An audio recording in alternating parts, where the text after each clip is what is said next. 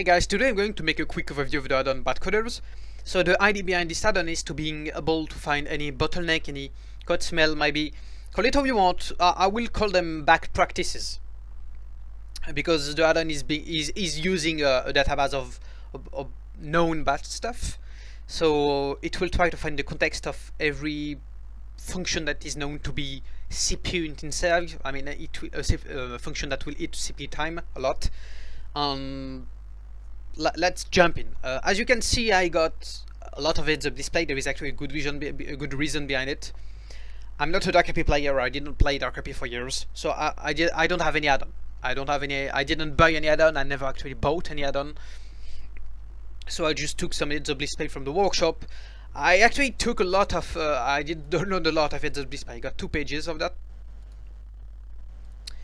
Um, I will directly oops, jump in and open the menu. Uh, there is kind of the client side and server side on the option. You wanna use the like auto close and auto open feature if you need to interact with the other you just got. Let's say it's an entity and you need to be sure to understand what the entity is doing. Um, as I'm explaining, I'm sorry, I'm explaining it um, in the text over here and over here you need to interact with the add-on you're trying to to scan if you if you know what I mean.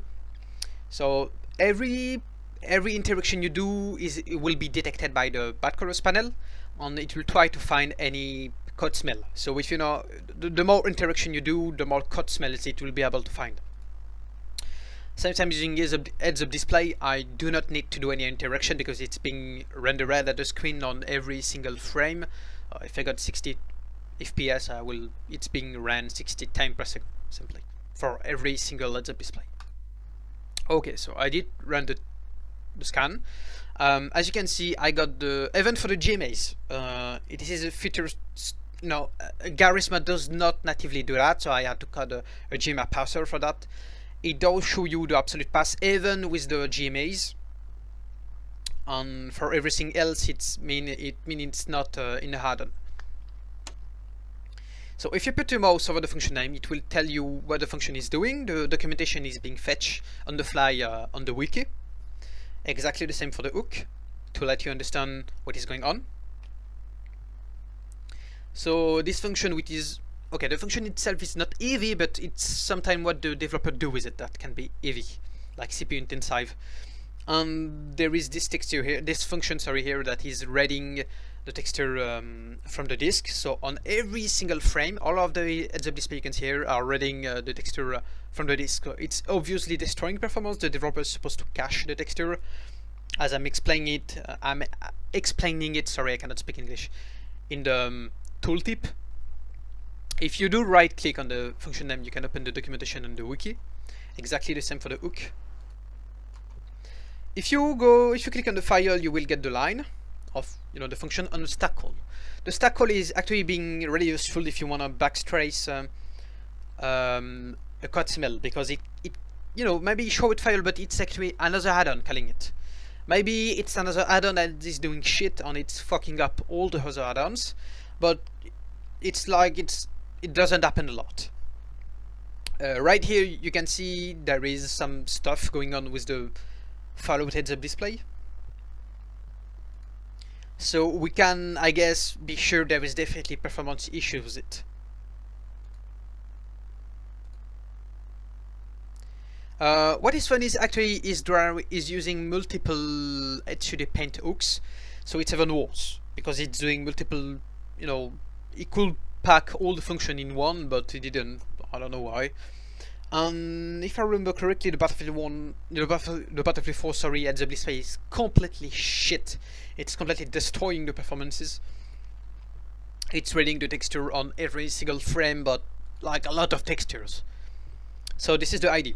Uh, there is no point, like in the logic way of doing a server-side scan, since I'm only using uh, it's a display that in, should not be used on the server. There is no reason to to run heads-up display code on the server. However, I already know what's going, what will be the result of the scan. And as you can see, uh, there is heads-up display code. Yep, heads-up display code being ran or used on the server because the guy didn't put the code in the autorun client, but in autorun. and that's it. Uh, you can obviously export the server side. Whoops. Report to clipboard or even the client side one. So let's say you bought an add-on on Gmod Store and there is issues. Uh, you now report the issues to the developer. Okay. Um, just because it showed you um, add-on got maybe issues, does that mean you have to open a ticket and tell the, the developer? Um, use your eyes, use common sense, use your brain, um, and obviously check the, the, the call. I mean the the call um, the the number right here. Yep, how many calls there is. If the average add-on got like maybe 44 calls on another one got one, don't report the one with only one call. It doesn't make sense. Maybe I do have an example around here. Uh, yep, okay, this one here. As you can see, it got only two calls. There is a good reason behind it. Um, so let's, okay, the one 44, only two. So um, right here, actually, in the zero oil rush, uh, it does use a, fun heavy function in the sync. So every single frame, it, maybe it's using it, or even no, it's not, because there is a timer um, slowing down the, the function to not completely destroy the server performance. This is why you need to check how many calls there was, and that's it. Uh, you can use that to auto close and auto reopen the menu if you need to toy with the add-on to do some interaction. And that's pretty much everything you need to know about it. Have fun.